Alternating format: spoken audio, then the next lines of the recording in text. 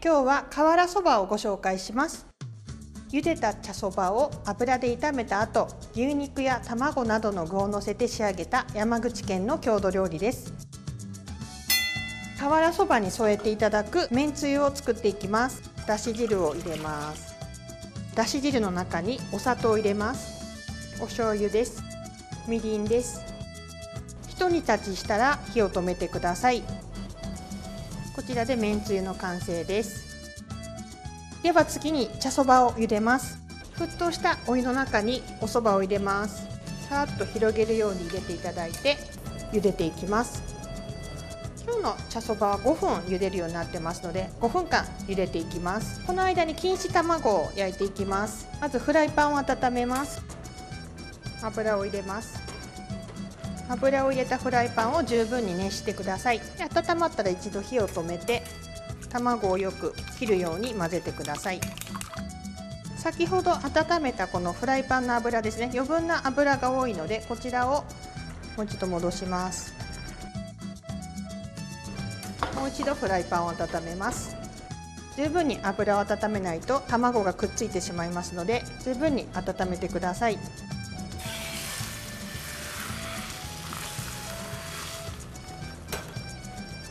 余熱で十分固まりますので火を止めます。で端っこからこのようにお箸を入れて持ち上げます。片面だけでもいいんですけどもちょっとこう半熟気味になりますので一瞬裏返して表面を焼いてあげることによって両面焼くことができます。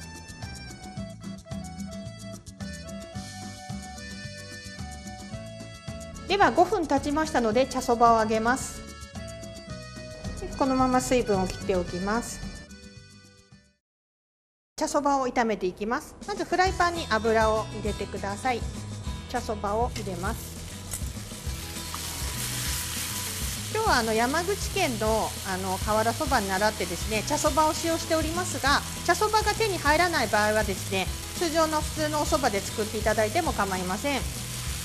本来の瓦そばっていうのはですね熱い瓦の上に盛り付けることによってお蕎麦がこうちょっとパリッとして香ばしい感じになります。今日はですねあのお皿の上に盛るんですけれどもここで少しですね麺に焦げ目をつけるような気持ちでカリッと焼いていきたいと思います。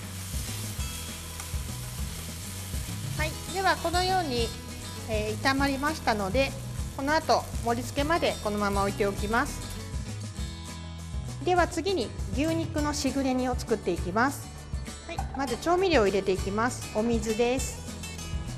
かつおだしです。お醤油です。お酒です。みりんです。お砂糖です。おろし生姜です。こちらにですね牛肉を入れていきます。ほぐすような感じで全体に調味料をなじませて加熱していきます。牛肉にこのように火が入って汁気もあのだいぶ少なくなってきましたね。火を止めてお肉に味を含ませます。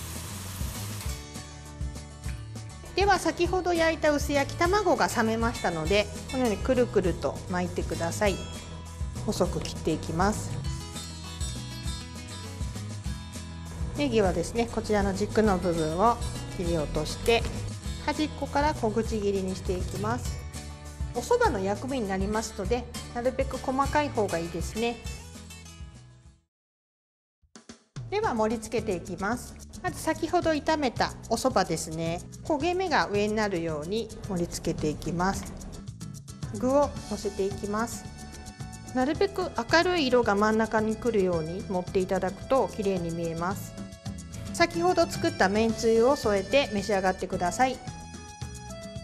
瓦そばの完成です。茶そばをホットプレートの上に乗せて盛り付けていただき保温していただくと最後まで温かくお召し上がりいただけます。